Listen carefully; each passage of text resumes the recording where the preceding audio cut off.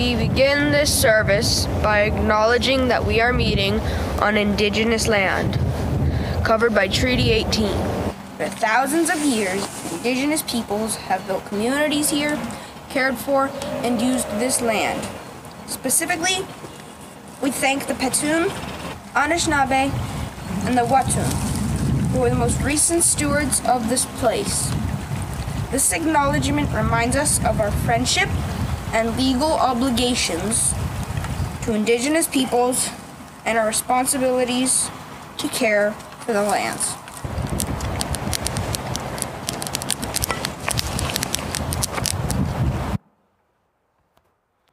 Good morning. Today is August 27th, 2023. We are here in Alliston. Welcome. And we welcome those who visit us in person or on YouTube in the name of Jesus Christ. Fellowship will be held right after this service in Shilton Hall. We have one announcement, Ken Pratt.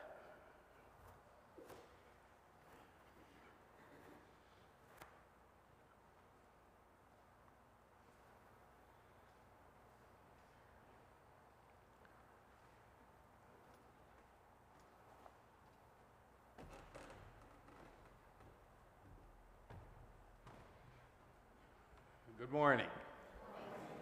Uh, I received an email from, uh, uh, from Tuck uh, talking about a new grant that's going to be avail- made available to United Churches um, of $25,000. The purpose of this grant is to improve um, our offerings of activities for seniors and other people who wouldn't mind being seniors in the church. So such activities as we have now, we have the cribbage club, we have the men's breakfast, which could become the people's breakfast. Um, but this is, th- this money is meant to be, say you've always wanted to go to Niagara on the lake on a bus tour and, and see a play, then we can plan, we use the money, we can plan for something like that. So on September the 7th, I'll be going online with the United Church, Kindred Works, and uh, uh, the girl who's the director of engagement. So what I want you to do is put on your thinking caps, and if there's something like an exercise class, a, a reason to get together just to keep the, the you know the seniors engaged and and their minds active and give you a purpose other than just coming here on Sunday for services and you've had that idea, then please uh, feel free to contact myself or Linda at the office, or it'll be Catherine while Linda's away. But um, the the United Church would wants to really help us with these programming, and if they're giving the money, it would be a shame not to be offering something that you would like to see happen to the church. So, as Sheldon did on the Big Bang, put on your thinking caps and uh, let's, uh, let's make this project work. Thank you. That Ken? Any other announcement? If not, I invite you to turn around to pass the peace of Christ, saying, Peace be with you, responding, and also with you.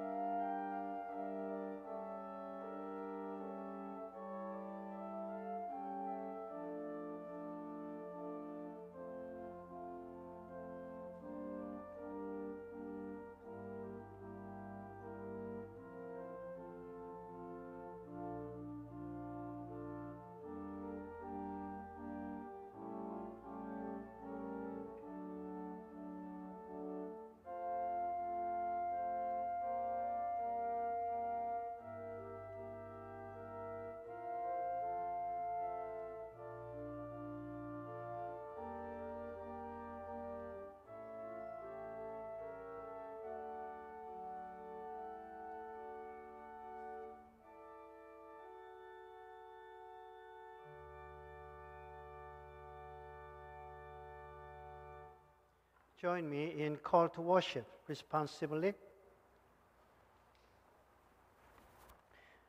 We know that no matter where we are, God is there.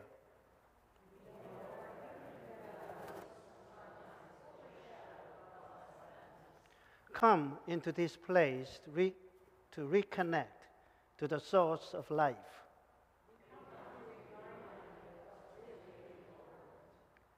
May we learn to put the blessings where they belong.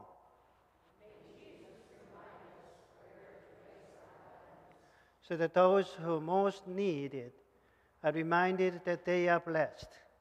So let us worship God together.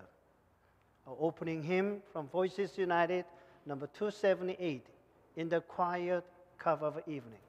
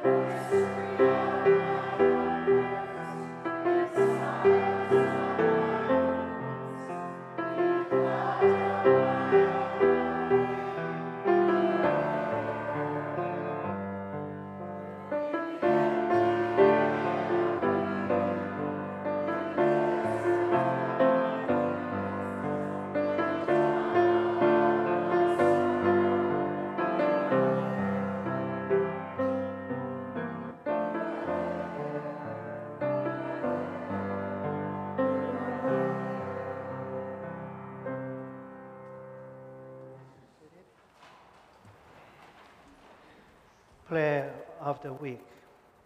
Holy One, sometimes we turn away from you, isolated by our fears and anxieties, trapped in our busy dedication to important goals.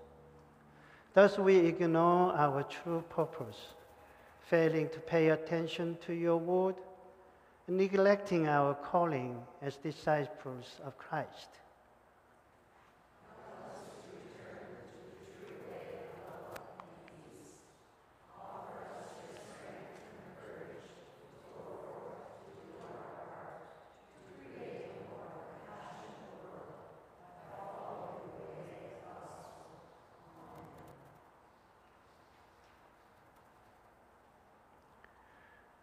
While we may falter some days and feel we are losing our way, we rejoice this day in God's glorious gift of grace given freely to all. We are a forgiven people. Scripture reading this morning is taken from the Gospel of John, chapter 3, verses 1 to 10. Now there was a Pharisee named Nicodemus a leader of the Jews. He came to Jesus by night and said to him, Rabbi, we know that you are a teacher who has come from God, For no one can do these signs that you do unless God is with that person. Jesus answered him, Very truly I tell you, no one can see the kingdom of God without being born from above. Nicodemus said to him, How can anyone be born after having grown old? Can one enter a second time into the mother's womb and be born? Jesus answered, Very truly I tell you, no one can enter the kingdom of God without being born of water and, uh, of, and spirit. What is born of the flesh is flesh, and what is born of the spirit is spirit. Do not be astonished that I said to you, You must be born from above. The wind blows where it chooses, and you hear the sound of it, but you do not know where it comes from or where it goes. So it is with everyone who is born of the Spirit. Nicodemus said to him, How can these things happen? How can these things be? Jesus answered him, Are you the teacher of Israel, and yet you do not understand these things? This is the word of God, and thanks be to God. Today is the eighth Sunday of the Summer Bible series. And the main theme is to be born again. Question Are you a born again Christian? Or is, it, is the language born again too hard and too heavy for you?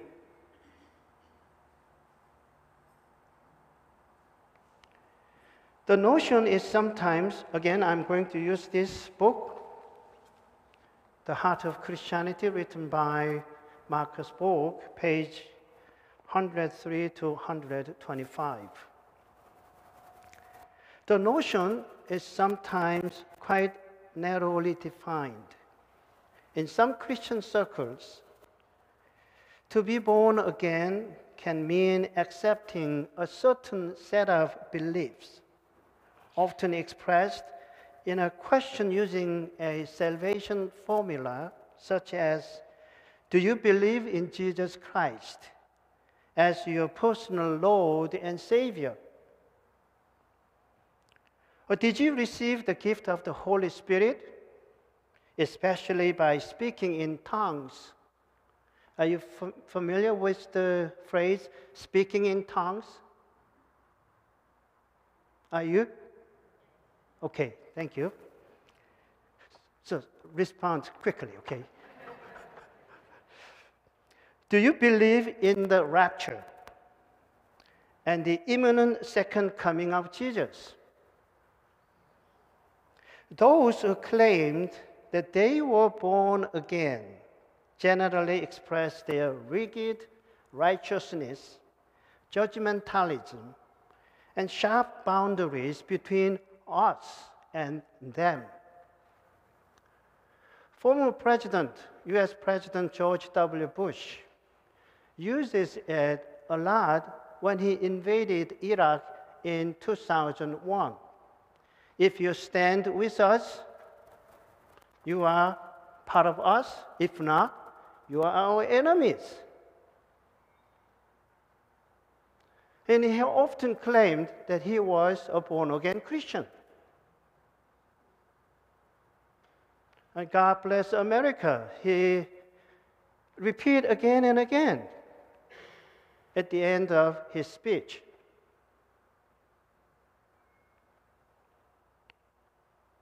Without hesitating, the born again Christians use the language God speaks to me. A Korean yoga teacher once said to me, after he found that I was a United Church minister, Sung Min, be always cautious when you call the name of God, and particularly when you are in prayer. Because you are dealing with an invisible world. And you may not know, but quite often an evil spirit might interrupt in between you and divine. Who knows?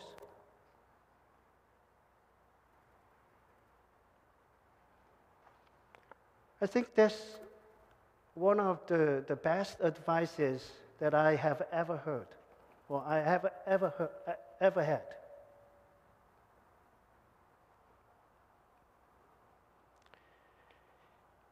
I bring up the theme of being born again today because it is at the very center of the New Testament and the Christian life. And we, the Christians in general, particularly the United Church people, need to reclaim it.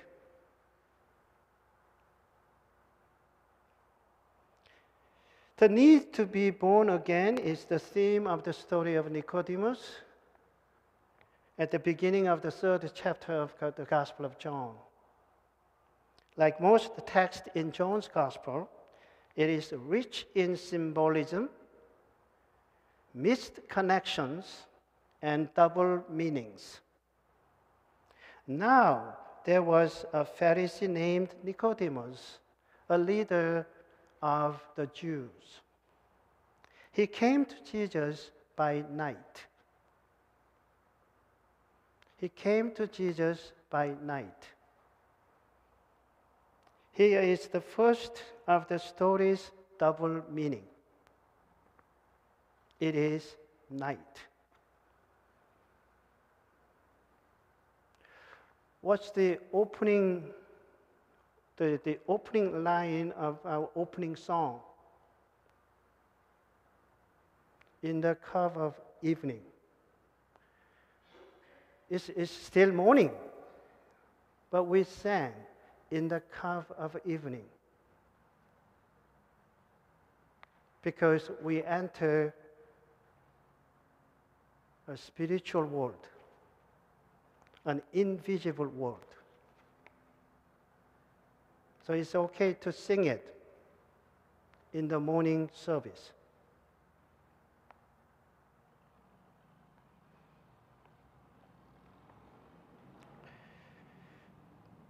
When we pray, we close our eyes. In other words, we enter in the invisible world, the spiritual world, or in other words, we enter the evening.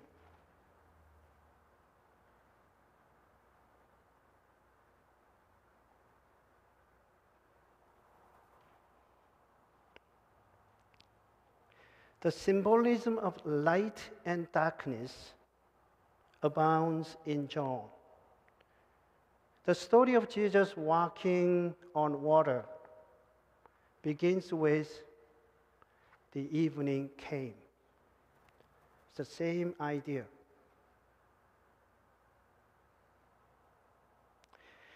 Jesus speaks to people in the Gospel of John saying, I am the light of the world. John chapter 8, verse 12. Whoever follows me will never walk in darkness, but will have the light of life.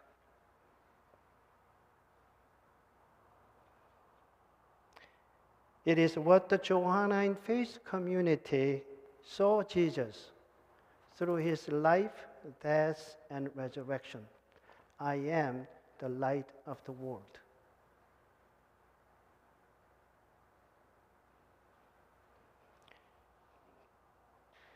For the Johannine community, Jesus is the one who gives light, gives sight to those who are blind. And in John chapter 9, he heals a man born blind. That's the main theme of the Gospel of John. Nicodemus came to see Jesus by night, the light of the world. In chapter 8, Jesus says, I am the light of the world.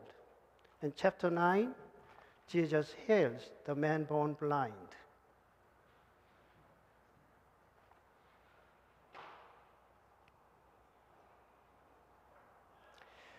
Though Nicodemus comes to see the light, he is yet to see the light.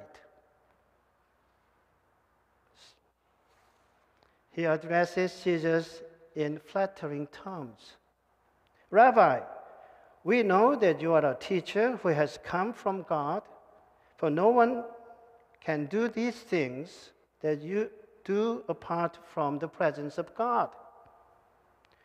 That's the general understanding of Jesus at the time of Jesus. Rabbi. But the Johannine community, is not a rabbi. He is the light of the world.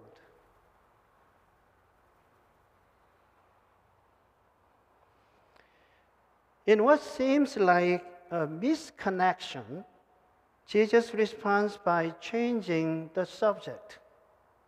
It is as if he hasn't heard what Nicodemus is saying, or perhaps has heard beneath his words. In any case, what follows, what follows is the key verse of the text.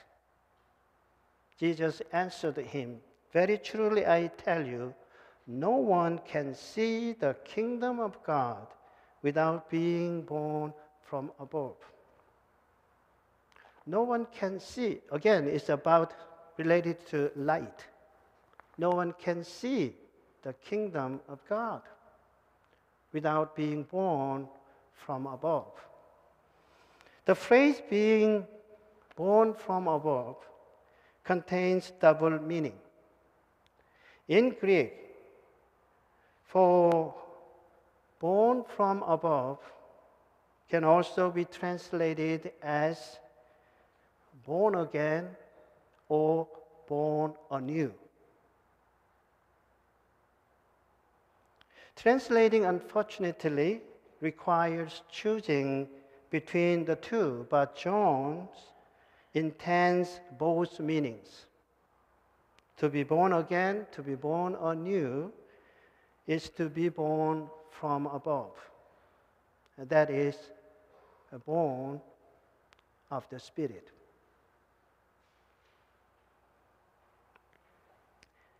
Nicodemus, though he is a highly educated class, he doesn't get it. He is a literalist, like many other characters in John's Gospels, including disciples of Jesus. Taking Jesus' words literally, he misses the point. How can anyone be born after having grown older? Can one enter the second time into the mother's womb and be born? Literally? He is still in the dark. And that is the meaning of the dark in the gospel. So Jesus repeats the point. Very truly, I tell you, no one can enter the kingdom of God without being born of water and spirit. The word water also has a double meaning. On the one hand, to the readers of John's Gospel, it would evoke baptism. On the other hand, parallel to flesh, it refers to the waters of birth. Though one is born of water, born of flesh, one must also be born of the Spirit. That is, born anew, born from above.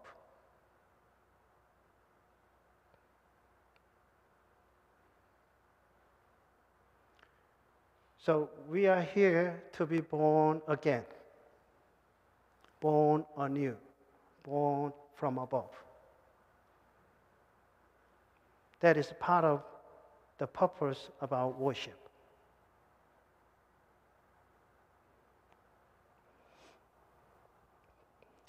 As the text continues, Jesus emphasizes the connection to the Spirit. The wind blows where it chooses, and you hear the sound of it, but you do not know where it comes from or where it goes. So it is with everyone who is born of the Spirit. Let me, uh, let me tell you this. I mean, in order to prepare my Sunday reflection, after I prepare my you know, writing, the written form, on Thursday, I read it again and again, six to ten times. And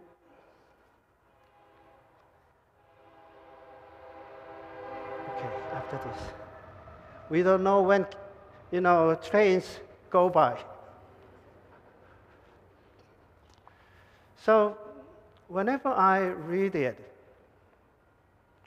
some spirit works in me and add and add and add. So some of you have some this script, and you may not. So sometimes hard for you to follow. Right? For me, that's, that's the Spirit works in me. So sometimes, so I like to make my sermon shorter than regular. Sometimes 30, it, it takes 30 minutes. So for this, for this Sunday, I prepared my, my sermon Thursday, and I tried not to repeat it. So I read it only twice. So I'm a little bit nervous at this time. But I believe the Spirit works in me and in you.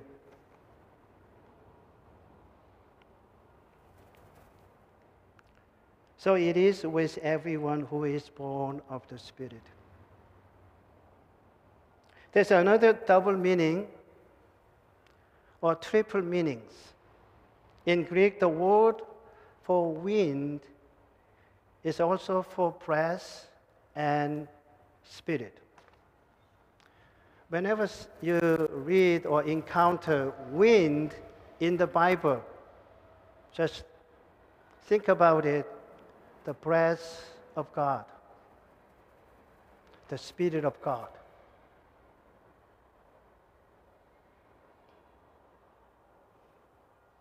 which is the source of life and the source of rebirth.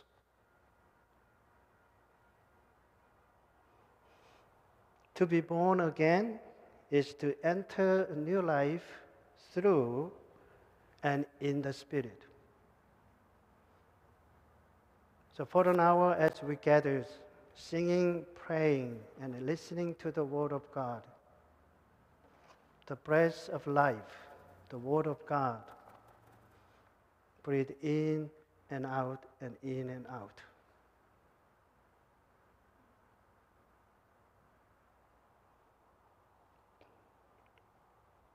The point is obvious. What Nicodemus needs is a spiritual rebirth, an internal rebirth, and a personal transformation. That is what we all need as an individual and a communal church. Paul mentions the same topic in his letter to the Second Corinthians chapter 5 verse 17. If anyone is in Christ, the new creation has come the old has gone, the new is here.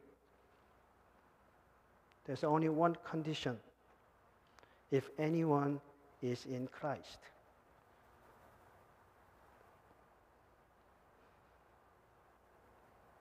Being born again, being born from above, is to make all things new in our daily life, or to make myself new. So for me, being born again is, is not a one time life event or life claim. It should be a lifelong process in our daily life.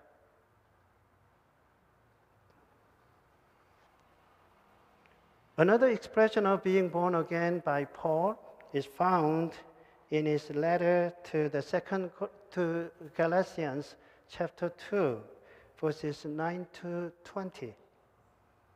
I have been crucified with Christ. It is no longer that I live, but it is Christ who lives in me. It's the same idea. Are you familiar with the song or with the hymn? It is no longer I that liveth, but Christ that liveth in me. Sylvia, are you familiar with that song? I learned it my first settlement charge in Newfoundland. So she knows that. Uh, But that song was in our old hymnary. United Church hymnary. Are you, are you, do you remember the, the blue hymnary? It was there.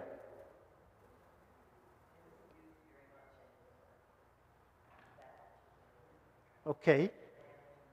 Yeah. It is no longer I that liveth, but Christ that liveth in me. That's the song we used to, s- I mean, our ancestors used to sing. That's the, you know, one of the major central topic in the New Testament. So, what life would be like if Christ is in me? That's the topic of the next Sunday, which is the final one for this, season. Thank you. And I'm, I'm so happy that you, you are here on Sundays for the past eight, eight Sundays. And if you turn around, quite a good turnout you have made. And I think we are, we are all happy with this crowd.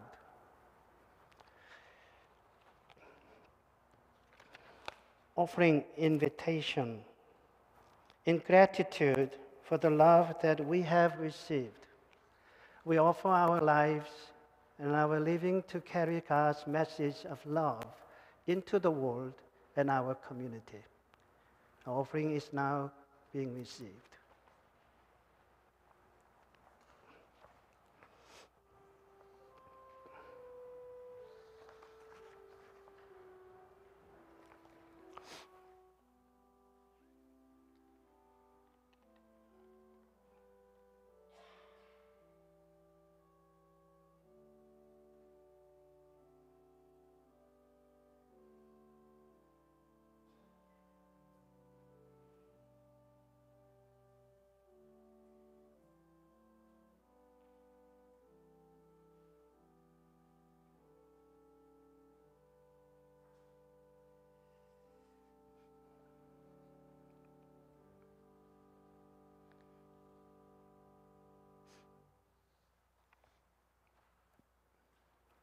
Offering prayer.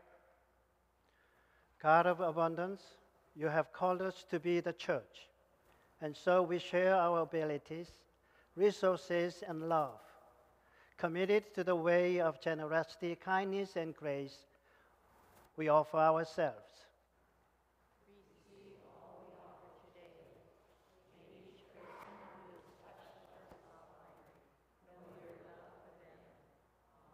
Amen.